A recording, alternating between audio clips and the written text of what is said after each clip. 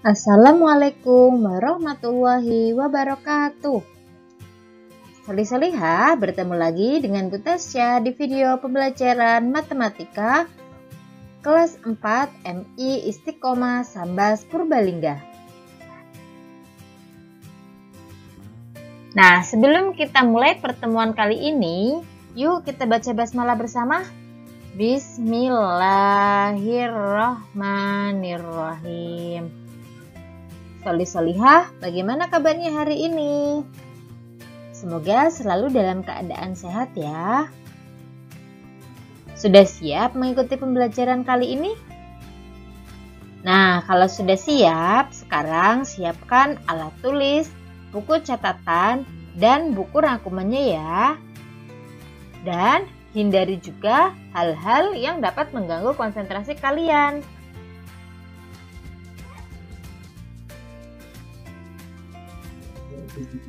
Soli Soliha, siapa yang sudah pernah naik kereta api? Nah, pasti kalian pernah melihat rel kereta api bukan? Nah, sekarang Bu Guru punya pertanyaan. Bagaimana posisi garis rel kereta api?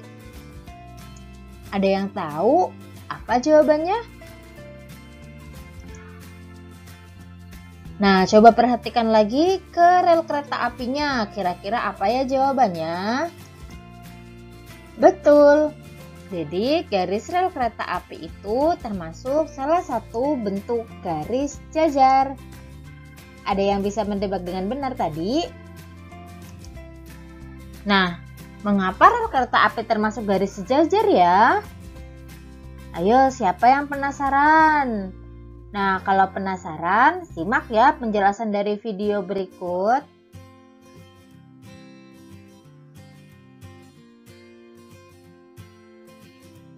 Sebelum kita masuk ke materi, ada tujuan pembelajaran dari pertemuan kali ini.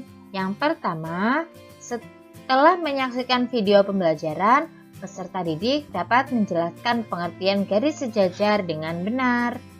Kemudian yang kedua, setelah menyaksikan video pembelajaran, peserta didik dapat menentukan garis sejajar menggunakan model konkret dengan tepat.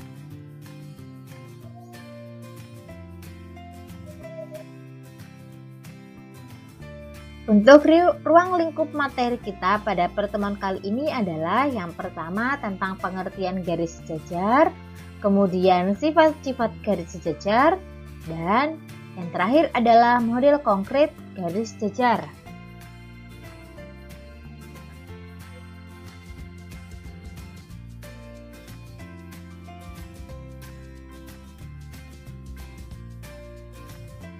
Nah, jadi materi kita pada pertemuan kali ini adalah tentang garis jajar.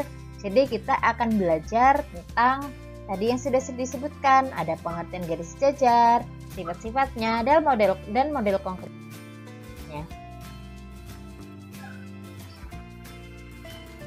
Nah, masih ingat pertanyaan Bu Guru yang di depan tadi? Mengapa rel kereta api termasuk garis sejajar?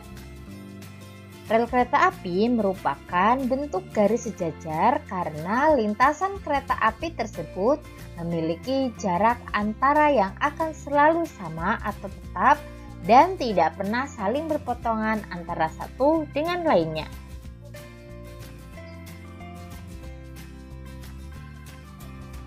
Nah, dari alasan tersebut kita bisa dapat menyimpulkan bahwa garis sejajar adalah garis-garis yang berjarak sama, saling berhadapan, dan tidak akan berpotongan walaupun garis tersebut diperpanjang sampai tak hingga.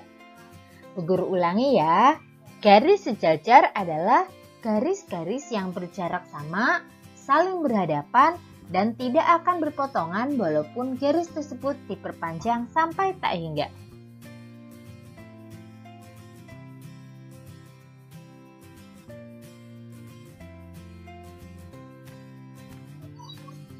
Nah, coba perhatikan contoh berikut ya. Yang pertama, Apakah garis AB sejajar dengan garis CD? Ayo perhatikan garis AB dan garis CD. Mas ingat tadi apa yang disebut sebagai garis jajar? Yaitu garis-garis yang saling berhadapan, memiliki ukuran yang sama, dan tidak berpotongan walaupun diperpanjang. Nah, ternyata garis AB dan CD memiliki jarak yang sama. Kemudian kita cek yang sebelahnya. Apakah garis AB dan CD berpotongan ketika diperpanjang? Ternyata garis AB dan CD tidak berpotongan walaupun diperpanjang. Maka garis AB sejajar dengan garis CD. Kemudian yang kedua, apakah garis PQ sejajar dengan garis RS? Nah, apakah garis PQ dan RS titik-titiknya memiliki jarak yang sama? Nah, garis PQ tidak berjarak sama dengan garis RS. Kemudian kita cek lagi, apakah garis PQ dan garis RS tidak berpotongan walaupun diperpanjang? Ternyata garis PQ berpotongan dengan garis RS. Maka kesimpulannya adalah garis PQ tidak sejajar dengan garis RS. Nah, sampai di sini Soli-soliha sudah paham ya? Selanjutnya, kita akan belajar tentang sifat garis sejajar. Sifat garis sejajar yang pertama yaitu jarak antara titik yang saling berhadapan selalu sama. Kemudian, sifat yang kedua adalah dua garis sejajar tidak akan berpotongan walaupun diperpanjang.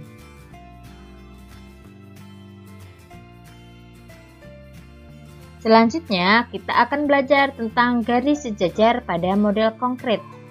Nah, model konkret di sini maksudnya adalah kita nanti akan mencari garis sejajar pada bangun ruang ataupun bangun datar. Nah, ayo siapa yang tahu bangun ruang apa yang Butasya tampilkan? Nah, betul. Jadi, bangun ruang ini adalah kubus. Nah, Coba, kalau misalnya Bu Tasya mempunyai garis EH, kira-kira garis mana ya yang sejajar dengan garis EH? Ya, betul, garis FG. Jadi, rusuk EH sejajar dengan rusuk FG. Kemudian, kalau Bu Tasya punya garis DH, kira-kira garis apa ya yang sejajar dengan garis DH? Ya, betul garis CG. Jadi rusuk DH sejajar dengan rusuk CG. Nah, kalau Bu Tasya punya garis EF, maka garis mana ya yang sejajar dengan garis EF? Betul, garis AB. Maka rusuk EF sejajar dengan rusuk AB. Lihat, sudah paham ya materinya? Nah, agar kalian semakin lebih paham lagi, Nah, akan Bu Guru berikan contoh yang lainnya. Di sini Bu Guru punya sebuah bangun ruang lagi. Kira-kira apa ya namanya bangun ruang tersebut? Betul, bangun ruang balok. Nah, coba berikan dua contoh garis jajar dari bangun datar di samping. Di uh, kalian boleh suka-suka memberikan contohnya. Yang penting termasuk salah satu rusuk dari bangun tersebut. Nah, kalau Bu Tasya akan memberikan contoh garis peki. Kira-kira garis peki sejajar dengan garis apa ya? Betul, sejajar dengan garis RS. Jadi, rusuk peki sejajar dengan rusuk RS. Nah, kalau Bu Tasya punya garis PS, maka garis apa ya yang sejajar dengan garis PS? Betul, garis QR. Jadi, rusuk PQ sejajar dengan rusuk RS dan rusuk PS sejajar dengan rusuk QR. Dan masih banyak rusuk-rusuk lainnya yang sejajar. Nah, nanti kalian cari sendiri-sendiri ya.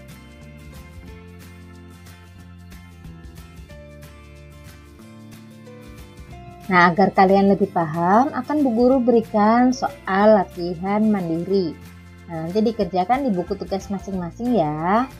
Yang pertama, buatlah dua contoh garis sejajar. Jadi nanti kalian buat atau gambar garis sejajar. Untuk penamaan titiknya terserah kalian. Kemudian yang kedua, berikan contoh garis sejajar dari bangun ruang berikut. Nah, guru sudah menyajikan bangun ruang dan titik-titiknya nanti kalian tinggal cari kira-kira rusuk mana yang sejajar di bangun ruang tersebut. Nanti untuk evaluasinya akan Bu Guru kirimkan linknya ya.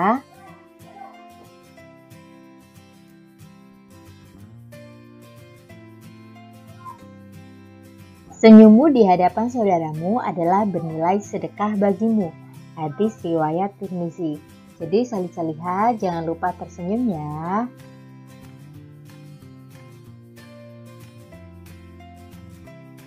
Nah, pesan dari Bu Guru yang pertama, selalu kerjakan tugas tepat waktu, jaga sholat lima waktu, dan jangan lupa membaca dan hafalan Al-Quran. Nah, untuk materi besok adalah garis perpotongan. Jadi silakan Sobat Solihah belajar tentang garis perpotongan terlebih dahulu ya. Nah, Alhamdulillah materi kita pada pertemuan kali ini sudah selesai. Yuk kita baca hamdalah bersama-sama. Alhamdulillahirabbil alamin.